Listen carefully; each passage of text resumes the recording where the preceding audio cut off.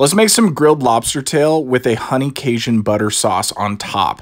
We're going to start by splitting open our lobster tail, adding a little bit of oil, and then seasoning them with simple salt and pepper. Next, we're going to preheat our fire, adding cast iron with some butter, some honey, and some Cajun seasoning in there. Let that mix together and melt for about two minutes along with some lemon juice. Next, we're going to add on the lobster tail, flesh side down, and cooking them until the outside just begins to turn a little bit of red, about a minute to a minute and a half, and then flipping them over to cook for another minute to a minute and a half. Basting them after they've been flipped so that they get smothered in that honey Cajun butter sauce. Once they're done, pull them off, let them rest for about a minute, top them off with a little bit of parsley and maybe some lemon juice, and you're ready to go. Find this recipe below. Cheers.